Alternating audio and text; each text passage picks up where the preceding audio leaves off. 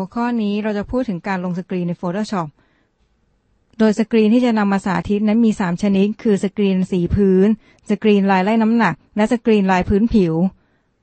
เริ่มต้นจากเลือก Polygon Lasso Tool จากนั้นสร้าง Selection ตรงเสื้อแจ็คเก็ต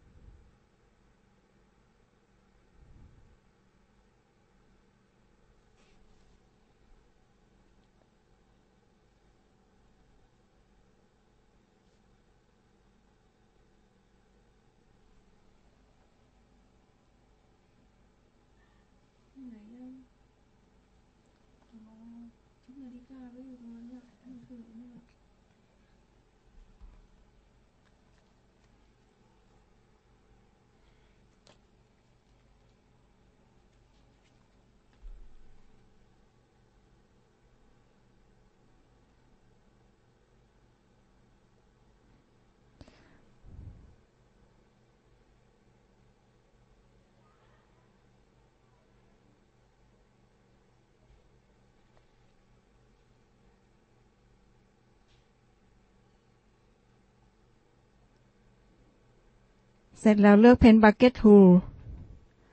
สร้าง layer ใหม่โหมด Multiply จากนั้นเทสีขาวลงไป แล้วเลือก filter Noise Add Noise เราก็จะได้สกรีนลายพื้นผิวตามที่ต้องการ ต่อมาเราจะลงสกรีนลายไล่น้ำหนักที่กางเกง ใช้ Polygon Lasso สร้าง Selection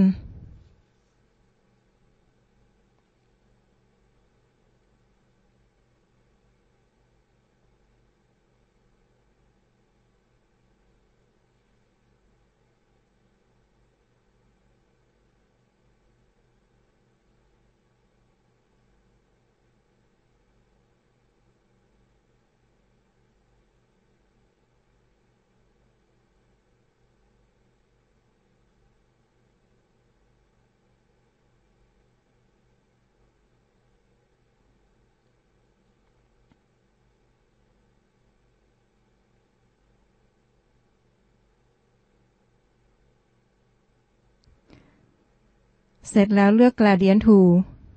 เลือก Gradient แบบขนาน จากนั้นสร้าง layer ใหม่โหมด Multiply แล้วลาก Gradient เมื่อได้น้ำหนักที่ต้องการแล้ว ไปที่ Filter Pixelate Color Halftone Gradient ที่ทำไว้ก็จะกลายเป็นเม็ดสกรีน จากนั้นสร้าง layer ใหม่ เราจะมาทำสกรีนสีพื้นที่รองเท้า เลือกสีเทา 60%จากนั้นใช้บลัชหัวกลมธรรมดา ระบายสีเทาลงไป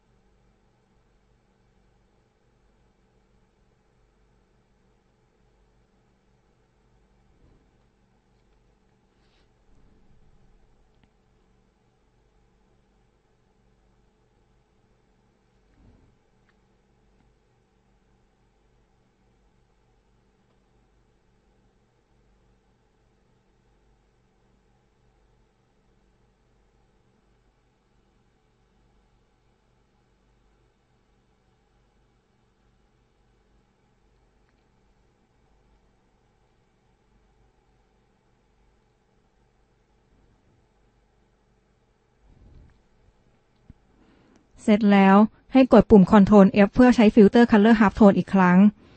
จากนั้นเราจะทำสกรีนลายไล่น้ำหนักที่ผมต่อ ให้สร้าง layer ใหม่ ไปที่ชั้น Background ใช้ Magic Wand สร้าง Selection ตรงผม จากนั้นไปที่ Select Modify Expand ขยาย Selection ออกเล็กน้อย แล้วใช้ Lasso Tool เก็บตรงมุม Selection ที่ยังไม่เรียบร้อย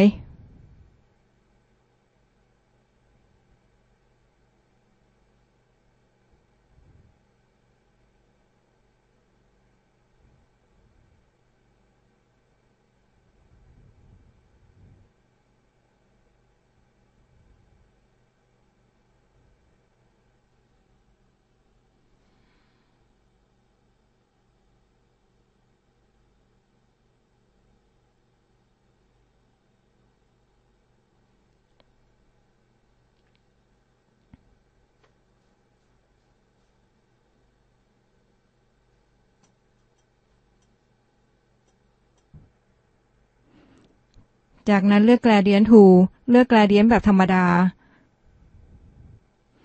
ลากแนว Gradient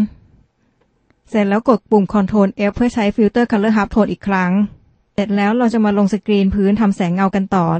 เริ่มจากสร้างเลเยอร์ใหม่หมด Multiply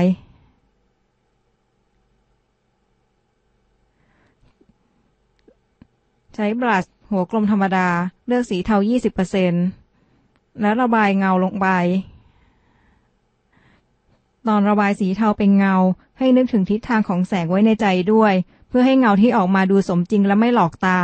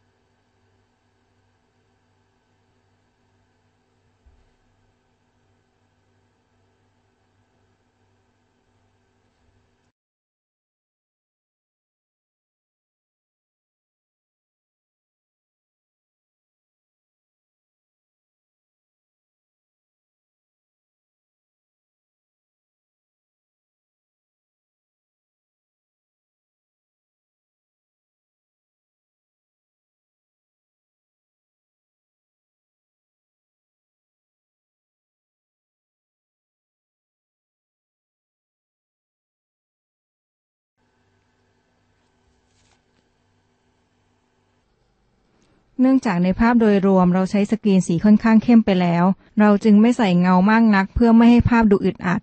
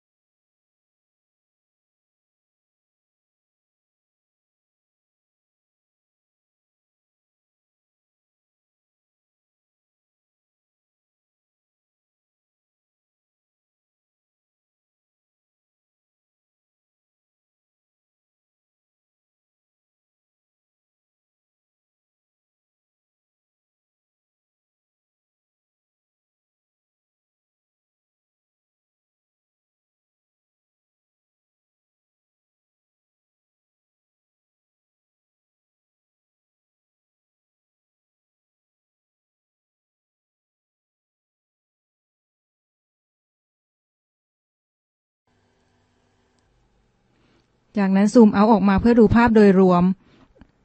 แล้วกดปุ่ม Ctrl F เพื่อใช้ filter Color Halftone อีกครั้งจากนั้นเราจะมาทำเงาที่พื้น สร้าง layer ใหม่โหมด Multiply ไปที่ชั้น Background ใช้ Magic Wand สร้าง Selection เลือก selection modify expand เพื่อขยายขอบ selection เล็กน้อย จากนั้นใช้บัชหัวกลมธรรมดา เลือกสีเทา 20%แล้วระบายเงาตกทอดลงไป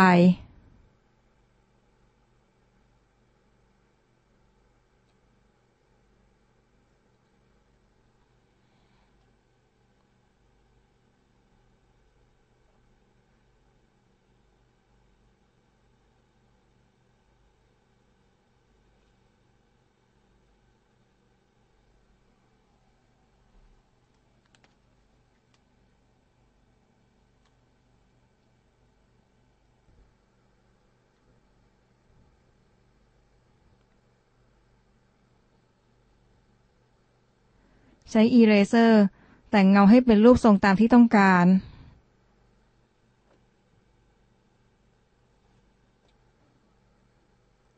เสร็จแล้วกดปุ่ม Ctrl F เพื่อใช้ฟิลเตอร์ Color Halftone อีกครั้ง เท่านี้เราก็จะได้ภาพที่ลงสกรีนเรียบร้อยแล้ว พร้อมจะนำไปตกแต่งต่อไป